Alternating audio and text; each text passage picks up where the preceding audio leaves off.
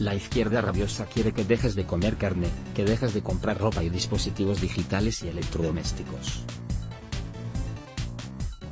La verdad es que no nos sorprende nada, porque así funciona el progresismo internacional, esos de la Agenda 2030 y demás chorradas de la izquierda rabiosa. Y hemos seguido leyendo el documento ese que se ha inventado el presidente del gobierno titulado España 2050. Fundamentos y propuestas para una estrategia nacional de largo plazo y que puedes leer en este enlace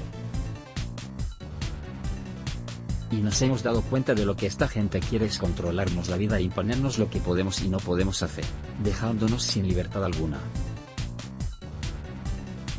Resulta que en la página 190 del documento se dice lo siguiente, en las próximas décadas, la población española tendrá que reducir su ingesta de alimentos de origen animal, la cantidad de prendas de ropa que compra, o el número de dispositivos digitales y electrodomésticos nuevos que adquiere al año también tendrá que volverse más comedida en sus desplazamientos, sobre todo cuando estos se realicen con medios altamente contaminantes.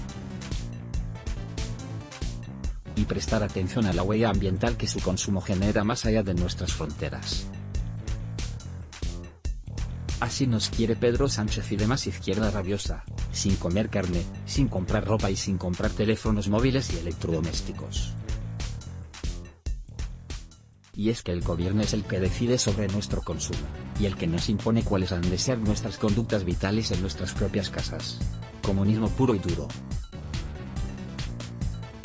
¿Quién es el gobierno para decirme qué tengo que comer? ¿Quién es el gobierno para decirme cuánta ropa me puedo comprar?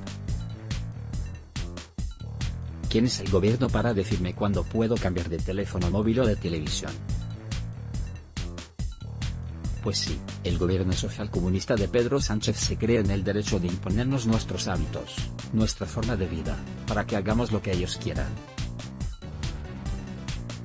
Estamos en la antesala de una dictadura, porque esas imposiciones son propias de dictaduras comunistas, que son las que a esta gentuza les gusta. Pero no os preocupéis que todo esto es por nuestro bien.